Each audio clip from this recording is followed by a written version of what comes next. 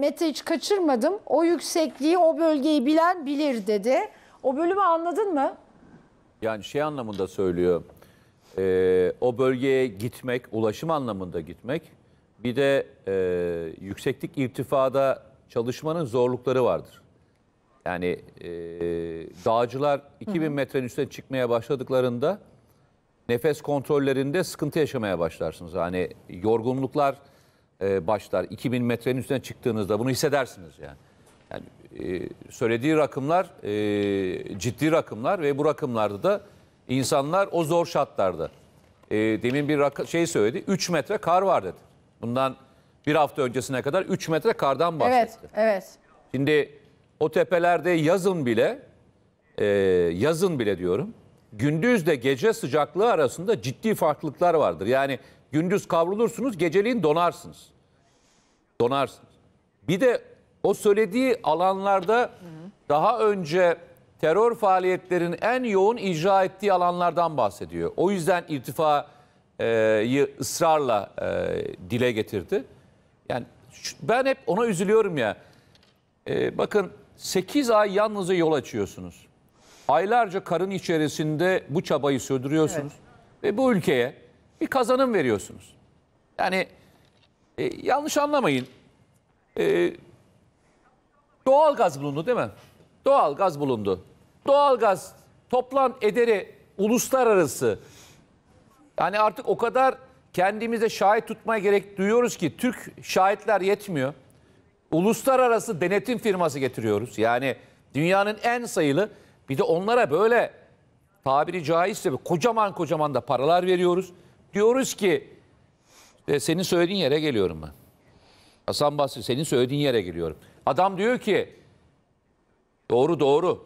Hatta Diyor ki siz yanlış hesaplamışsınız. Az söylemişsiniz. Aslında toplam rezerv bu kadar. Daha da üstüne çıkarak rezerv yükseltmesi yapıyor. Ne kadar çıktı hatırlıyor musunuz? Bulunan doğalgazın ekonomik değeri. Ne kadardı? 1 trilyon dolar. 1 trilyon dolar. Ya arkadaş bir trilyon dolarlık bu ülkenin bir kazancını buluyorsun. Peki ben şöyle söyleyeyim.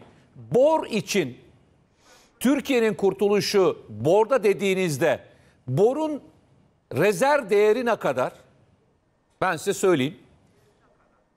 Borla ilgili yazı yazdığım için yakın zamanda boru üreten dedim ki ya dünyada bütün borun satış rakamını hepsini biz satsak dünyanın bütün boru ihtiyacını karşılasak ne kadar? Dediler ki 4 milyar dolar yıllık. Yıllık 4 milyar dolar. Ne kadarlık bize rezerv var? Dediler ki dünyanın 800 yıllık ihtiyacını. Ama yıllık ne yaparsan yap. Satabileceğin toplam miktar 4 milyar dolar. 4 milyar dolar. Peki bundan biz nasıl para kazanacağız? Dediler ki boru rezerv olarak değil, işlenmiş ürün olarak satarsak. Yani bunun bir üst işlenmişi bor karbür. Buradaki pazar 60 milyar dolar. Biz dediler şimdi bu pazara oynuyoruz. Boru buraya getireceğiz. 60 milyar dolarlık pazardan pasta almaya çalışacağız. Ben o zaman söyleyeyim. Arkadaşlar borun kurtuluşu olarak gördüğünüz bir yerde 1 trilyon dolarlık ve yıllık da 95 milyar dolar yurt dışına ödediğiniz bir para varken arkadaşlar bu buluşu pardon bu keşfi doğalgaz keşfine niye küçümsüyorsunuz? Bu ülkeye kazanış kazanç değil mi arkadaşlar? Bu ülkeyi seven herhangi bir birey, bu ülkeye inanan herhangi bir birey cebinize 10 kuruş para girdiğinde seviniyorsunuz da devletin demiyorum milletin rezervine 1 trilyon dolarlık bir keşif yapıldığında arkadaş niye sevinemiyorsunuz ya? Daha doğrusu sevinemeyenlerin sesi sevinenlerin sesini nasıl bu kadar bastırabiliyor? Ülkenin büyük çoğunluğu seviniyor. Çok Ama- peş peşe geldiği için olabilir mi? Ya e, bakın sizin bu söylediğiniz olay 2020'de keşif yapıldı ilk. 3 yıl boyunca orada sondaj faaliyetleri ve karaya taşınmak için faaliyetler sürdürüldü. 3 yıldır 2020'de keşif yapıldı. 2020'de seçim mi vardı arkadaşlar? 3 yıldır uğraşıyorlar. Bir buçuk yılı yalnızca bunun karaya taşınma süreci. Bir buçuk yıldır yalnızca karaya taşınmakla ilgili süreç sürdürülüyor. İlk bulunuş yanlış hatırlamıyorsam 2020 seçim mi vardı? Ya o kadar Hayır büyük canım yani emekler var ki bakın o kadar iyi sorduğumu da, planlamalar var e, ki. 2010'a bakarsan ona bakarsan Gabar'daki çalışmalarda 2018 yılında başlamış yani. Net bu arada Fatih Dömeriz Enerji Bakanı şimdi e, şu an bir tweet attı. Önce doğalgaz şimdi petrol. Onu bir okuyayım hemen. Tabii. Enerji bağımsızlığını adım adım doğalgazın ardından petrolde de müjdeler olsun. Cudi Gabar bölgesinde Şehit Aybüke Yalçın bir kuyusunda Türkiye'nin en kaliteli 41 e, herhalde bu API diye okunuyor. Petrolünü keşfettik. Sahada günlük 100 bin varil petrol üreteceğiz. Varili de şey olarak koymuş e, emojiler gibi varil olarak yani şeklini koymuş. Sahada 100 bin e, varil pe- petrol üreteceğiz diyor. Enerji Bakanı Fatih Dönmez. Şimdi e, şeyi çok net anlattın zaten Mete. E, Hakan Bayrakçı Şimdi, bu, e, bu- tüm bu yani hani verilen bilgiler Ha, bir şey söyleyeceğim. Düşünsenize Türkiye Petrolleri Genel e, yani Türkiye Petrolleri Genel, e, Ortaklığı'nın genel müdürü 4 Mayıs'ta alana herkesi çağırıyor ki gelin gözünüze görün diye. Ya bu bana Evet evet tüm ya ben ben gerçekten ben buna üzülüyorum biliyor dedi. musunuz? Yani ben bu bu buna üzülüyorum ya. Bakın yıktığımız her şey yıktığımız her şey bir sonraki gelen hükümet tarafından da sürdürülecek. Güven öyle oluşturulacak bir şey değildir. Bugün yıkılan her şey, bakın bu Sincize planı yapanların hepsi bir ittifakın ortağı falan değil arkadaşlar. Bu ülkeyi sevmeyen bir grup tarafından iki tarafa dair tuzak kuruluyor.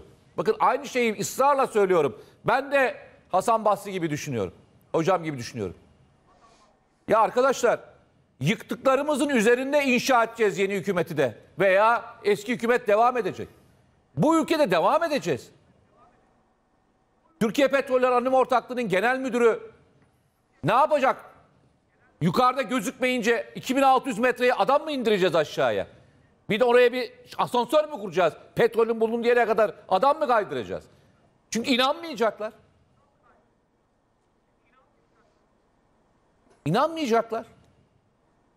Yazık. Şu fotoğraflar Mete konuşurken fotoğraflar hazırsa ortada verelim. Ee, Enerji Bakanı'nın e, paylaştığı tweette fotoğraflar var. Ee, o kuyunun açılmış e, gerçekten bu arada tam tepede yani. Eğer ekrana gelirse Mete daha net yorumlayacaksındır. Girecek herhalde şimdi. Ee, yani e, evet gördüğünüz gibi tam bir tepe e, kuyu açılmış. E, etrafında benim gördüğüm kadarıyla işte o çalışılan herhalde işçilerin kaldıkları barakalar, bütün e, makinalar aynı şekilde duruyor, var. Mete bilmiyorum fotoğrafları görebiliyor musun, üzerine konuşabiliyor musun? Görüyorum. E, yani belli bir alan ve bayağı herhalde zorlu bir alan. Bu arada da özel olarak e, yani güvenliğin çok önemli olduğunu söyledi. E, çok şükür terörle mücadelede çok önemli bir noktaya gelildi. Burada böyle bir yer e, yapıldı ama e, genel müdürün dikkatimi çektiği yani o güvenliğe atfı dikkat çekiciydi. Yani hala demek ki ciddi bir orada koruma sağlanıyor değil mi? Ve buna ihtiyaç var anladığım kadarıyla. Yani e, birincisi o yolun emniyeti. Yani kilometrelerce yol emniyeti sağlıyorsunuz. Oradan e, petrolü çıkartıyorsunuz aşağı indiriyorsunuz. O yolun mayın temizliği, her gün mayın kontrolü. Kilometrelerce mayın kontrolü. O bakın şimdi yukarıdan gözüktüğünde böyle çok Her gün. basit gibi gözüküyor değil mi? Bakın çok basit gibi gözüküyor o alan. E, o her bir tepenin Evet. arkasına bir adam gizlense sizi saatlerce oyalar. O sah o sahanın SİHA'lar tarafından kontrolü. Onu kaç tane muhtemelen jandarma birliği ve polis birliği koruyor orayı. Yakın emniyetinden bahsetmiyorum. Uzak emniyetinden bahsediyorum. Ve sonuçta orada çalışanların bir de hayatları var, riskleri var. Yani orada mühendisleri ve şeyleri götürüyorsunuz. Bir sürü işçiyi götürüyorsunuz Tabii oraya. Yani Allah kolaylıklar versin. Ee, işte fotoğrafları Tabii. görüyorsunuz arkadaşlar. Yani benim e, zaten yüksekliği de yani neredeyse zirve. Yani zaten açıdan baktığınızda Zirve öyle görülüyor. bakın açıdan Tel baktığınızda örgü zirve yani. görüyorum ben etrafında çok yakınlaştırınca. Evet. Bu durum bu durum bana şey gibi gözüküyor. Çok böyle fotoğrafları çok yaklaştırdığında bir tel örgü var. Hani yani bazen- gerçekten çok zor ama eee, bir, Ya bu buyurun. Kim Hani konuşuyor? bazen dağın tepesi Dağın tepesi. Çocuklar duymak istemedikleri bir şey olduğunda kulaklarını tıkar ve yerinde tepinir ya. Sanırım bazı kimseler Evet. bu, bu durumdan muzdarip. Yani 2018 seçimlerini hatırlıyorsunuz değil mi? Muharrem İnce günlerce kaçırılmadığına birilerini ikna etmek mecburiyetinde kaldı. Yani 2600 metrekare me- metre derinlikteki e, kuyuya indirseniz, kafasını petrolün içerisine bulasanız hala petrol bulunmadığını iddia edebilecek insanlar var.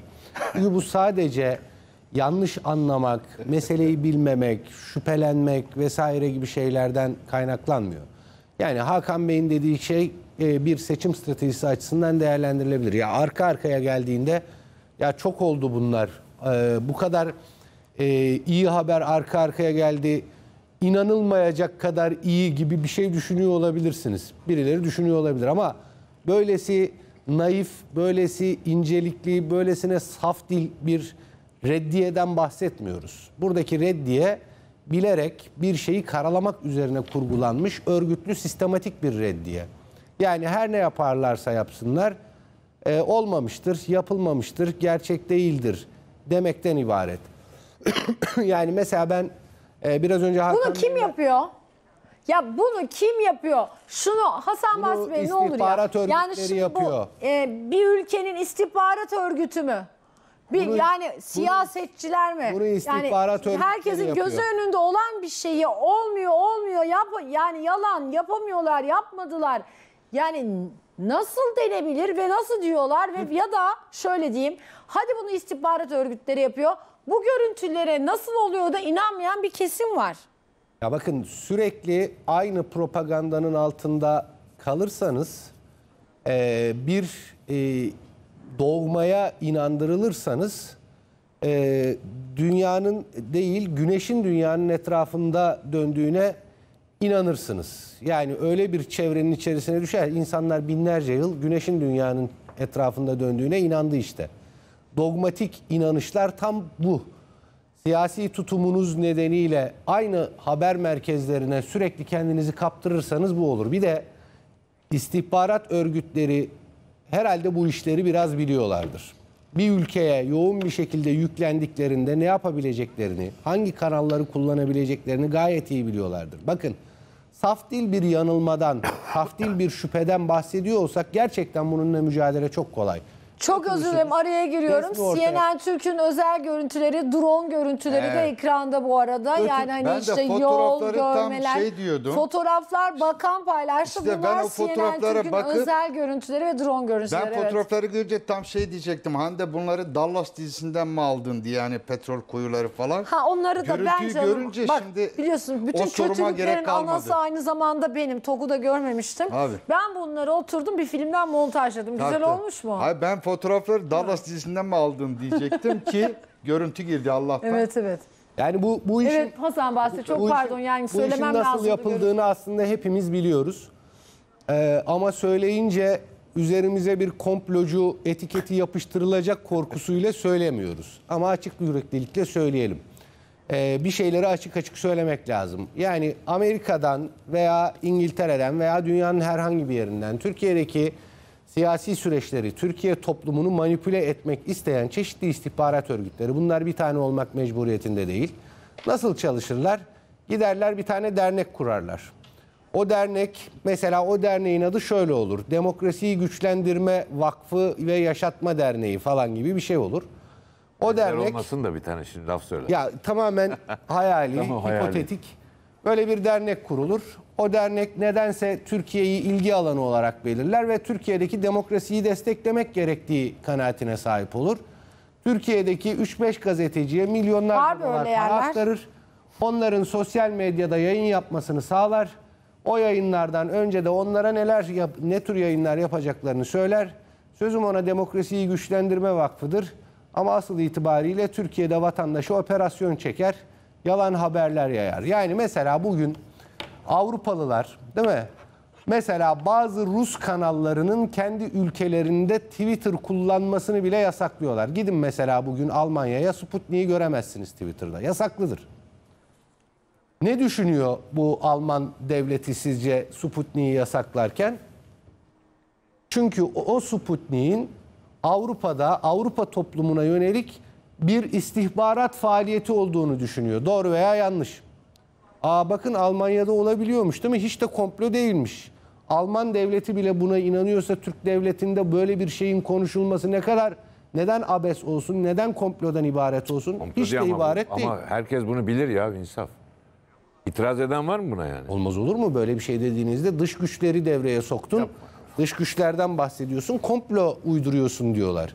Ha, halbuki bütün bunlar çok açık bir şekilde hangi derneğin, hangi vakfın kime ne kadar para verdiği ortaya çıkmadı mı? Çıktı. Bunlar liste liste yayınlandı. Bilmiyor muyuz yani bu operasyonları Bildiğimizin dışında Aa! da neler var Allah Tabii bilir de. bildiğimiz bu kadar. Gerçekten yayınlandı mı? Yayınlanmadı mı? Gerçekten yayınlandı mı? Ne yayınlanmayan ne ya? Olan nereye gitti? Bilmem Verdiği yayınlandı parayı mı? ya. Nedense o, o onlar hiç konuşulmuyor. Kimlerin kimlerin yurt dışındaki vakıflardan ne kadar para alıp hangi mecralarda yayın yaptığına dair listeler yayınlandı. Görebildiklerimiz bu kadardır. Göremediğimiz tonlarcası da vardır ki istihbarat olduğuna göre çoğunluğunu görmememiz gerekiyor değil mi? Muhtemelen azını gördük. Buzdağının görünen yüzeyinden, görünen ucundan bahsediyoruz. O görünen bile milyonlarca dolardan bahsediyoruz. Milyonlarca dolar para çeşitli yabancı dernekler tarafından Türkiye'deki gazetecilere niye aktarılır? Bunu görmedik mi? Gördük. Onlar işte bu tür haberleri yapmıyorlar mı? E yapıyorlar. Onların arkasında troll orduları yok mu? Var.